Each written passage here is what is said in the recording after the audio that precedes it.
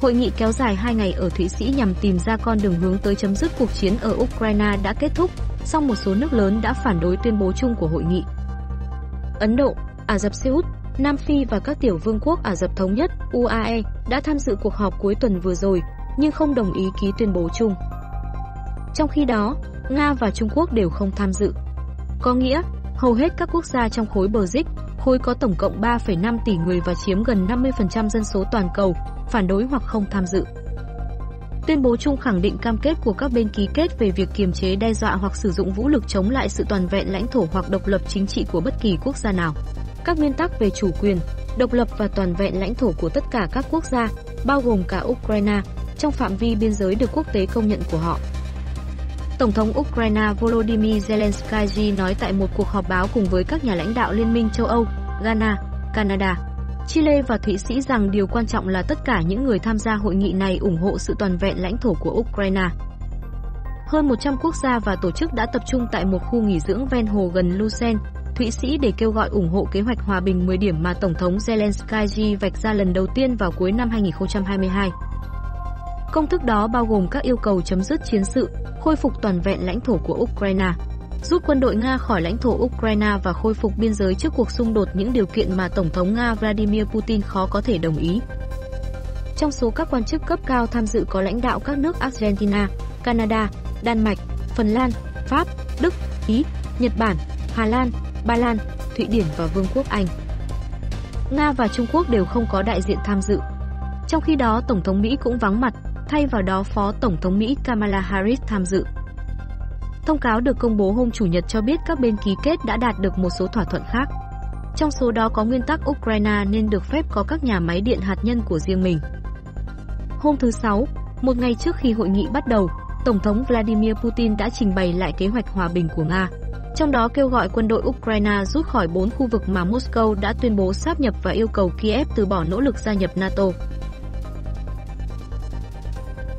Các nước dự hội nghị hòa bình ở Thụy Sĩ khẳng định mọi bên cần đối thoại để đạt được giải pháp lâu dài và chấm dứt xung đột Nga-Ukraine.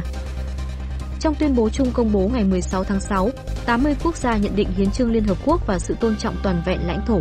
Chủ quyền có thể đóng vai trò cơ sở để đạt được hòa bình toàn diện, công bằng và lâu dài ở Ukraine. Chúng tôi tin rằng để đạt được hòa bình, cần có sự tham gia và đối thoại của mọi bên, tuyên bố chung có đoạn. Chúng tôi tái khẳng định cam kết với các nguyên tắc chủ quyền, độc lập và toàn vẹn lãnh thổ của tất cả quốc gia, trong đó có Ukraine, trong phạm vi biên giới được quốc tế công nhận. Tuyên bố cũng kêu gọi các bên trong xung đột Nga-Ukraine trao trả toàn bộ tù binh và tất cả trẻ em bị đưa đi bất hợp pháp, không vũ khí hóa an ninh lương thực dưới bất cứ hình thức nào và đảm bảo Ukraine được kiểm soát hoàn toàn nhà máy điện hạt nhân Zaporizhia. Tuy nhiên, một số quốc gia không bày tỏ ủng hộ tuyên bố chung của Hội nghị Hòa bình ở Thụy Sĩ, trong đó có Ấn Độ, Ả Rập Saudi và các tiểu vương quốc Ả Rập Thống Nhất. Nga không được mời tới hội nghị, Trung Quốc không tham dự sự kiện này. Phát ngôn viên Điện Kremlin Dmitry Peskov cùng ngày cho biết Ukraine nên xem xét điều kiện mà Tổng thống Vladimir Putin đưa ra. Trong đó có từ bỏ tham vọng gia nhập NATO và rút quân khỏi 4 tỉnh mà Nga sáp nhập cuối năm 2022. Diễn biến trên tiền tuyến cho thấy tình hình đang tiếp tục xấu đi đối với Ukraine, ông Peskov nói.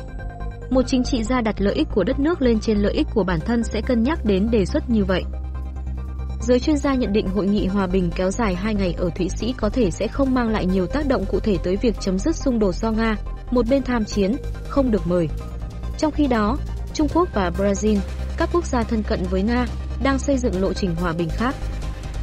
Tại cuộc họp báo ngày 6 tháng 6, phát ngôn viên Bộ Ngoại giao Phạm Thu Hằng khẳng định Việt Nam ủng hộ giải quyết tranh chấp, bất đồng bằng các biện pháp hòa bình, phù hợp với luật pháp quốc tế và hiến trương Liên Hợp Quốc, có tính đến lợi ích chính đáng của tất cả các bên liên quan, vì hòa bình, ổn định, hợp tác và phát triển ở khu vực và trên thế giới.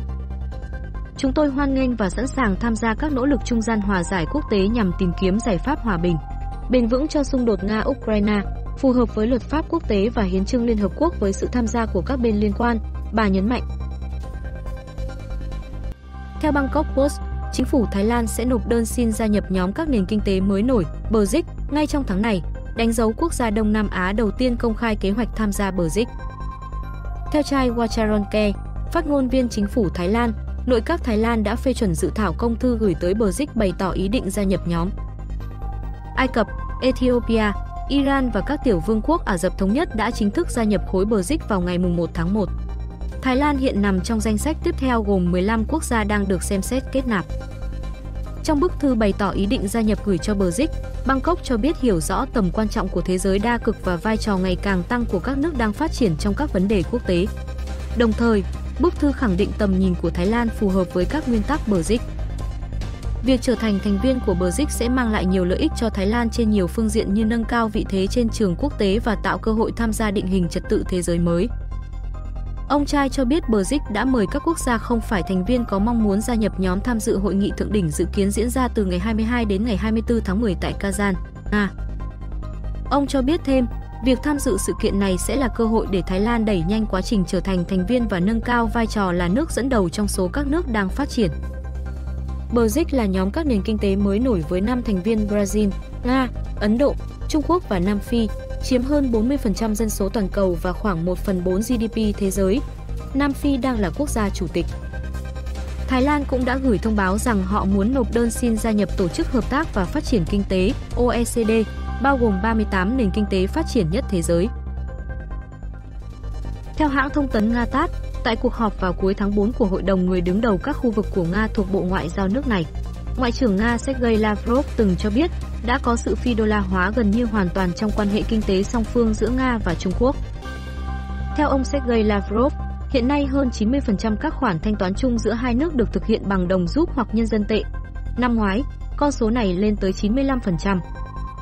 Trong chuyến thăm cấp nhà nước tới Trung Quốc hồi tháng 5, Tổng thống Nga Vladimir Putin cũng nhấn mạnh con số này.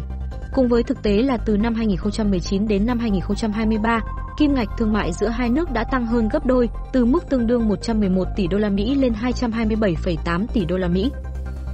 Hơn 90% thỏa thuận giữa các công ty của chúng ta được thực hiện bằng tiền tệ quốc gia, vì vậy sẽ chính xác hơn khi nói rằng thương mại song phương hiện đạt tổng cộng khoảng 20.000 tỷ rúp, tương đương gần 1,6 nghìn tỷ nhân dân tệ, Tổng thống Nga Putin nói với hãng tin Tân Hoa xã.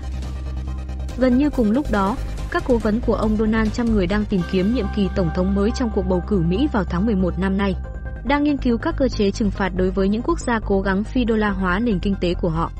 Các biện pháp này có thể bao gồm thuế quan và kiểm soát xuất khẩu, cùng nhiều biện pháp khác. Đối với giám đốc điều hành các Los Korea của South Center tổ chức liên chính phủ của các quốc gia đang phát triển, có trụ sở tại Geneva, Thụy Sĩ, sự thống trị của đồng đô la gây ra sự bất cân xứng, gần đây đã gia tăng do nó được sử dụng như một vũ khí địa chính trị. Sự thống trị của đồng đô la và đặc biệt là hệ thống SWIFT cho phép Mỹ ngăn chặn mọi hoạt động chuyển tiền, bất kỳ hành động thương mại nào của các quốc gia bị lệnh trừng phạt của họ nhắm tới.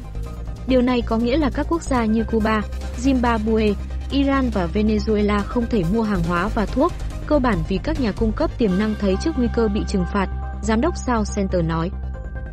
Theo tờ Brazil Fato, tại hội nghị thượng đỉnh BRICS tiếp theo sẽ được tổ chức vào tháng 10 tới đây tại thành phố Kazan của Nga. Báo cáo được soạn thảo bởi một nhóm công tác được ủy quyền đánh giá khả năng của một hệ thống thanh toán chung sẽ được công bố. Nhiệm vụ này đã được đưa ra tại hội nghị thượng đỉnh BRICS năm ngoái ở Johannesburg, Nam Phi. Vào tháng 4 năm 2023, Tổng thống Brazil Luiz Inácio Lula da Silva cũng từng nêu vấn đề này ở cấp độ quốc tế trong chuyến thăm cấp nhà nước tới Trung Quốc. Tuy nhiên, bất chấp các cuộc tranh luận và yêu cầu về một loại tiền tệ chung, ít nhất là giữa các thành viên BRICS, lựa chọn này vẫn chưa được đưa ra bản thảo. Libo giám đốc Viện Nghiên cứu Chiến lược và Phát triển Trung Kiêu có trụ sở tại Thượng Hải, cho biết kinh nghiệm rút ra từ đơn vị tiền tệ euro có thể là một ví dụ cho nhóm các quốc gia ở Nam bán cầu. Nhóm này đã vượt qua G7 về GDP tính theo sức mua tương đương, chiếm 35,6% so với 30,3% của nhóm các quốc gia ở Bắc bán cầu. Đơn vị tiền tệ euro đã tồn tại được 20 năm và thực sự được sử dụng để ổn định tỷ giá hối đoái giữa các loại tiền tệ chính của các nước châu Âu và để bảo vệ chúng khỏi biến động bởi những cú sốc bên ngoài do Mỹ hoặc các khu vực khác trên thế giới gây ra. Vì vậy, đây sẽ là một lựa chọn tốt cho BRICS, sử dụng cơ chế này để giúp ổn định hơn hoạt động thương mại nội bộ của họ, chuyên gia nhận định. Cảm ơn quý vị đã quan tâm theo dõi. Để tìm hiểu thêm những thông tin khác liên quan tới các vấn đề về thị trường, kinh tế, doanh nghiệp, Mời quý vị truy cập vào website của chúng tôi tại địa chỉ www.kinh tế chứng khoán.vn để theo dõi. Nếu thấy hay, hãy nhấn like và đăng ký kênh để ủng hộ tòa soạn có thêm động lực sản xuất nhiều video hay phục vụ quý vị. Xin chào và hẹn gặp lại.